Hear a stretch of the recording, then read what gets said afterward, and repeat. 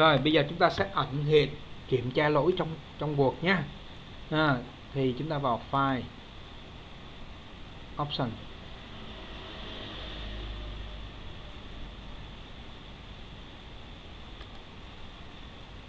Rồi ở trong cái phần là grouping chúng ta lưu ý là chúng ta có thể bỏ cho cái mục này nè. Chúng ta bỏ như thế này đi.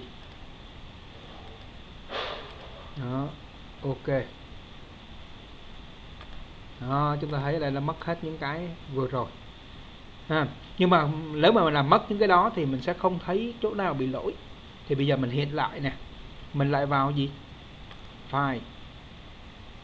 Option. Đó, mình sẽ đánh dấu vào phần grouping. Đánh dấu vô hết những cái này. Đó ví dụ như lỗi spell nè hay là grammar nè. Đó, context nè